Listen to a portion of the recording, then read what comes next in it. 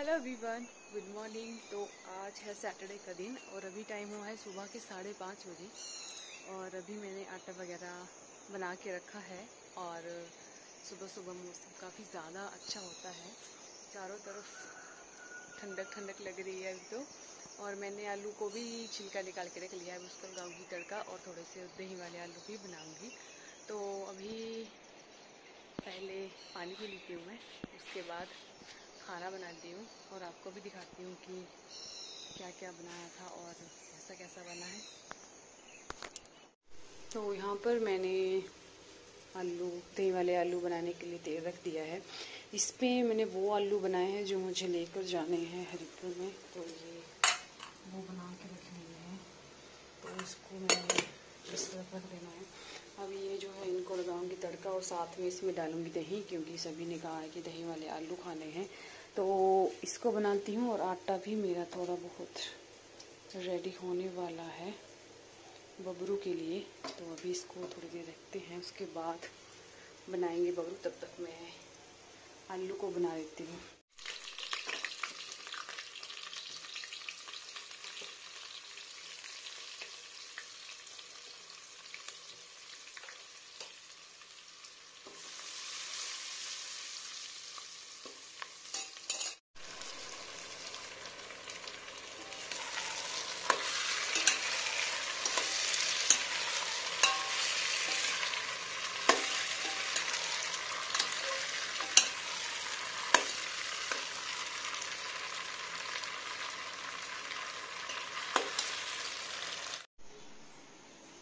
Good morning good morning ji क्या बना रही हो नाश्ते में?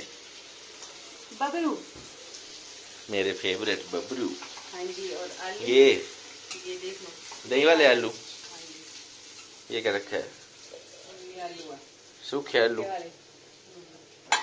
पूरा मोटा करने का इरादा है। आप हो नहीं ना मोटे। हम्म, थोड़ा बनाने वाला। आपको मोटा किया जाए। खिला के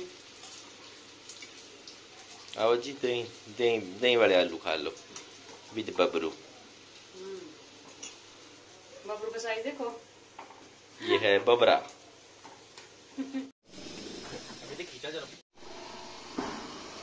यहाँ पर भद्रम हम लेने लगे हैं फ्रूट आर रखने के लिए फ्रूट भी रखना पड़ता है तो यहाँ पर हस्बैंड ले रहे हैं मेरे केले। तो अभी चल रही हूँ मैं नीचे, आ, रखने के लिए। बुला रहे हैं सभी तो। चलती हूँ।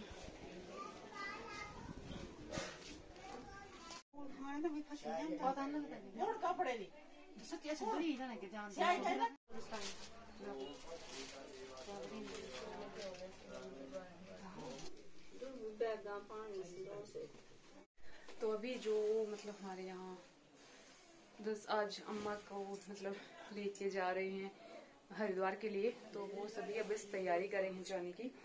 तो सभी मतलब तैयार हो रहे हैं कपड़े वगैरह लगा के, खाना वाना खाने वाले हैं।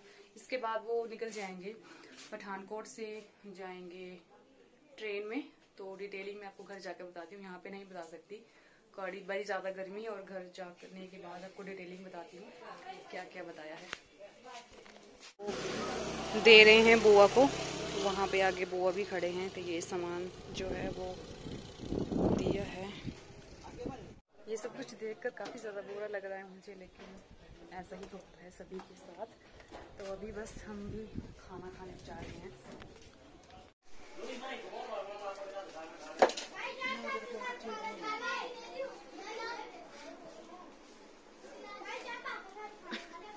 थोड़ा बैकग्राउंड भी तुसी सही रहने तेरा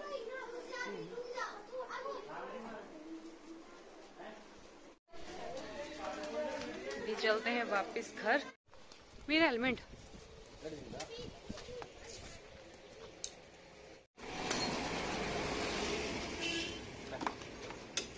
ओके okay, तो वीडियो को कंप्लीट कर लेते हैं। तो जैसा कि मैंने आपको बताया था कि मैं उसके बाद थोड़ी देर में ही वापस आ गई थी घर और घर आने के बाद नहाने नहाने के बाद शाम की रूटीन जो थी उसको मैंने अपने कवर किया। और अभी रात को बैठी हूँ, वीडियो कंप्लीट करने के लिए। स्वरित भी सो गया और बच्चे भी सो गए हैं। और मैंने आपको बताया था कि वो हरिद्वार के लिए कैसे जा रहे हैं, मैं आपको बताती हूँ। वो हरिद्वार गए हैं यहाँ से मतलब चंबा से लेकर पठानकोट तक वो जाएँगे अपनी गाड़ी में।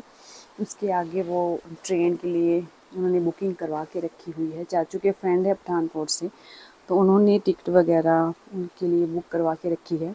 तो वहाँ से वो आगे का अपना सफ़र कंप्लीट करेंगे और कल सुबह वहाँ पहुँच जाएँगे और कल वहाँ पर अपना सारा काम करने के बाद शाम की ट्रेन में वापस घर आने के लिए बैठेंगे और कल रात शाम की उनकी ट्रेन शायद आठ बजे या सात बजे की है और सुबह वो फिर पठानकोट पहुँच जाएँगे फिर वापस से घर। तो ये तेरह चौदह दिन जो होते हैं, उसमें कहते हैं कि हमारे जो जो अब मतलब इस दुनिया में नहीं है, वो साथ में रहते हैं तो अब उनको छोड़ने के लिए गए हुए हैं घर वाले।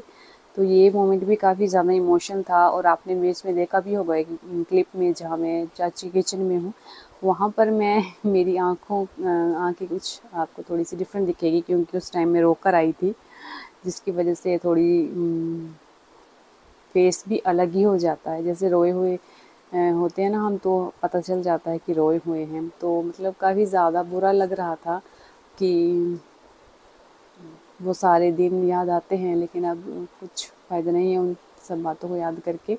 सिर्फ़ दिल ही दुख दुखता है और बुरा ही लगता है याद करके तो वो वापस नहीं आने वाले। तो मतलब तेरह चौदह दिन हो गए हैं और जैसे लग रहा है कि यह होता है ना कि विश्वास करने वाली बात नहीं होती है। लेकिन ऐसा है कि यही सच्चाई है, ये सभी को माननी पड़ेगी। और अम्मा की एज भी काफ़ी थी, ऐसा नहीं था कि बड़ी छोटी एज में ही काफ़ी अच्छी एज पा कर गए हैं, अपने पोते पर पोते पोतियाँ देख कर गए हैं। तो लेकिन यही है कि उनको थोड़ा मतलब गले में दिक्कत रहने लगी थी, खाया पिया नहीं जा रहा था। और साथ में उनकी हेल्थ भी काफ़ी ज़्यादा मतलब काफ़ी ज़्यादा कमज़ोर हो गए थे, वो बहुत ज़्यादा वीक हो गए थे। और खाने पीने में दिक्कत की वजह से वो अंदर ही अंदर से जैसे होता है ना कि शरीर गलना शुरू हो जाता है, वही था। लास्ट मोमेंट तक तो वो बहुत ही ज़्यादा कमज़ोर हो गए थे, इतनी ज़्यादा वीक थे कि उनसे उठा बैठा भी नहीं जा रहा था लास्ट लास्ट मोमेंट में।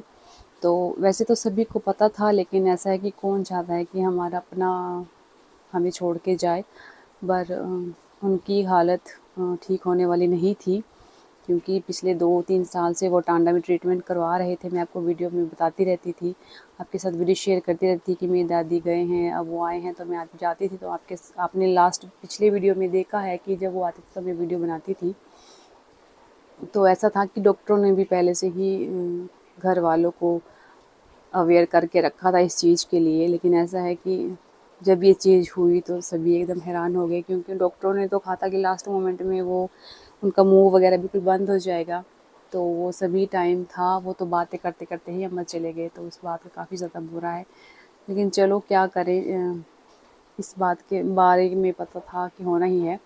लेकिन चलो, जो भी हुआ ठीक हुआ, बस यही है कि वो जहाँ भी हों, अच्छे हों, खुश रहें और भगवान करे, उनकी आत्मा को शांति दे।